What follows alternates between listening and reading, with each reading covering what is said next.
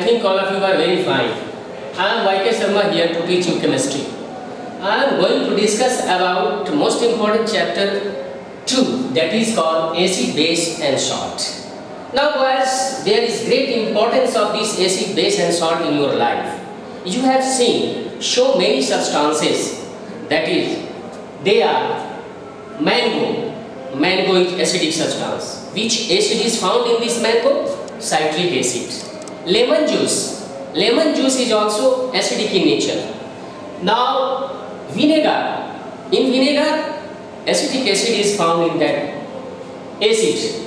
Now uh, so many substances you can take the example. Now there are two concepts of acid and base. How will you define it? There are two concepts of acid and base. First is classical concept of acid. What is this? Classical concept of acid. In this definition of acid, you will learn about the definition of acid on the basis of physical and chemical characteristics. Okay? So, what is the nature of acid? That is, first, acids are those substances which are sour in taste. What are these? Which are sour in taste. Okay? Now another property which are corrosive in nature. Which are corrosive in nature. Okay? These are the classical concepts. Third is they are completely miscible or soluble in water. Soluble in water in all proportions all acids are completely miscible with water in all proportions. Okay. Now they are they can conduct the electricity. They can conduct the electricity when when they are found in their aqueous form.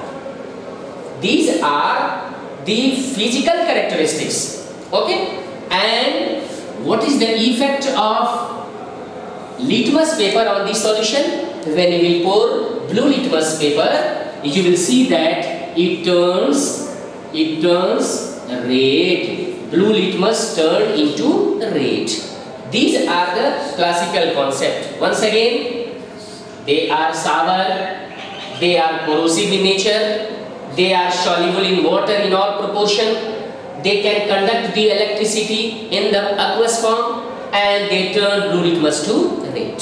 These are the classical concept of acid. Okay. Now let us see another uh, concept of acid is Arrhenius concept. What is this? Arrhenius concept. Another is Arrhenius concept. Okay. Of acid.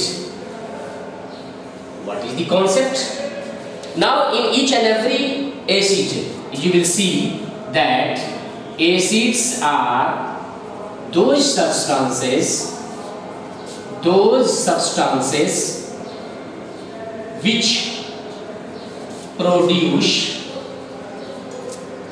H plus ion in the aqueous solution How can we define it? That acids are those substances which can which can produce H plus ion in the aqueous solution. Let us see the example. For example, HCl. In aqueous solution, it will produce H plus ion plus Cl minus ion. Now you have to write aqueous. What do you mean by aqueous? Aqueous means the solution in which water is used as a solvent. They are called as aqueous solution. And if water is not used as a solvent, then what term is used? Non-aqueous solution. Okay. So, in aqua solution, hydrogen chloride will produce H plus ion. Similarly, HNO3, HNO3, it will produce what? H plus and NO3 minus ion. NO3 means nitrate ion. This is called nitrate ion. Okay, it is here. Now, same process in case of H2SO4, what will form? 2H 2H plus plus SO4 2 minus. SO what is the name of SO4 2 minus? That is called sulfate ion. Sulfate ion. Okay? And H2SO4 is sulfuric acid you know well. Sulfuric acid. It is clear? Similarly, you can take so many examples. I am giving you the another acid that is HCOOH. What is the name of this acid? This is called formic acid. What is the name? This is called formic acid. Okay. Formic acid will produce what? HCOO minus plus H plus. Okay. HCO minus is known as formate ion. What is the name? for Formate ion. It is clear? Now, CH3COOH. What is the name of this acid? This is called acetic acid or ethanoic acid. Acetic acid. Acetic acid will produce what? CH3COO minus plus H plus ion. What is the name? That is called acetate ion.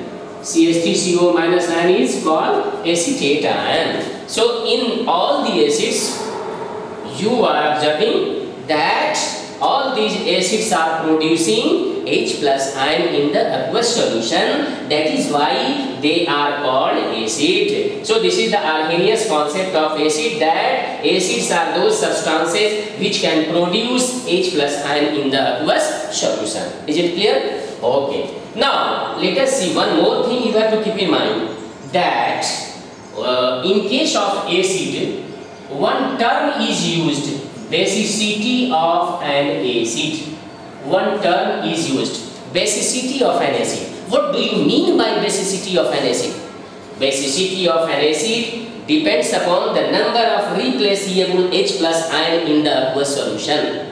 Okay? Whatever H plus ion produces in the aqueous solution that will be the basicity of that acid for example hydrogen chloride is producing 1H plus. That is why its basicity is called 1.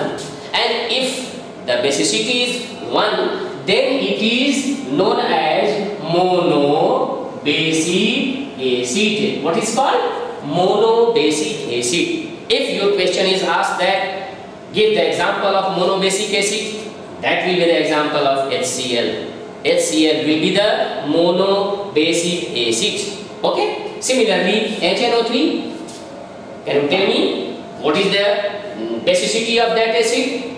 Although it is also producing 1H plus ion, hence its basicity is 1. So it is also the example of monobasic acid. It is clear? Now it is producing 2H plus ion. So the, its basicity will be 2. Hence it is the example of or it is called dibasic acid. Why it is called dibasic acid? Because it is producing 2H plus ion in the aqueous solution. That is why it is called dibasic acid. Another example, HCOH. What will be the basicity of that acid? It is producing 1H plus ion. Hence its basicity is 1. And that will that is the reason it is known as monobasic acid.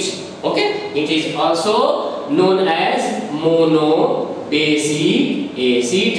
It is clear? Now acetic acid, come on. Acetic acid, it is also producing H plus ion. Hence its basicity is also 1 and that will be the example of monobasic acid. I think all of you are clear that what do you mean by basicity of an acid? Basicity of an acid depends upon the number of replaceable ion H plus ion in the aqueous solution. Whatever H plus ion is producing in the aqueous solution, that will be the basicity of that acid.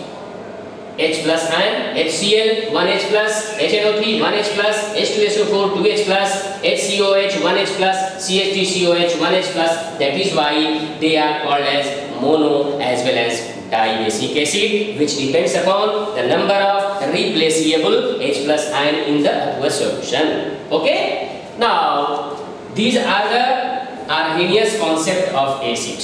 Okay? Now one of the most important thing, These are two definitions that is classical concept and Arrhenius concept. Okay? Similarly, there are two concepts of bases. Bases. Um, bases. What classical concept of bases? Classical concept of bases. Okay? Now these all are depending upon the physical and chemical characteristics of that basic base okay? So i will discuss later on. I hope that all the points are clear in this video. Thank you very much. I will see you